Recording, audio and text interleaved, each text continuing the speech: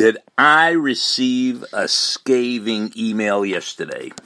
You've reached Success Hotline, message number 10171. I'm Dr. Mark Gilbert. Whoa.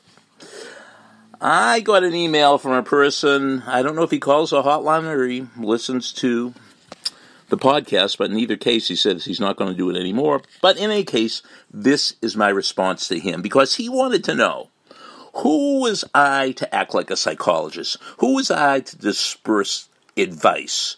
Who was I to do what I'm doing? What, what, what were my credentials to do this? And these are my credentials. Who am I? I'm just a person who's acting as a gentle reminder to remind you of things you already know but you might have forgotten. You already know your tremendous ability already inside you, but you might have forgotten it.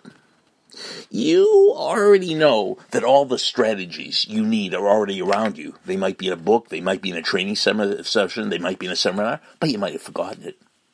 You already know that you have to take action more than you probably do, but you might have forgotten it. And you already know there's no such thing as failure, just feedback, but you might have forgotten it. So I'm just a person that acts as a gentle reminder to remind you of things you already know, but you might have forgotten. So, what are my other credentials? Well, I'm just a fan. I'm just a fan because you know you could do it, and I know you could do it, and I'm cheering you on.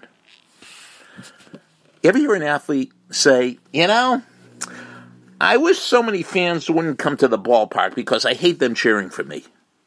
No, everybody needs somebody cheering for them.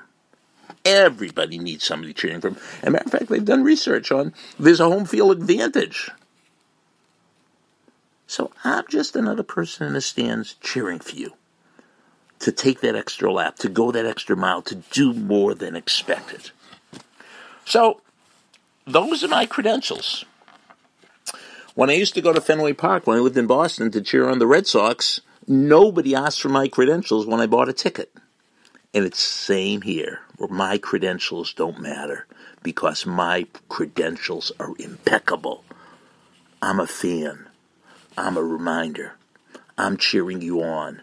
And I know you can make it. And that's it.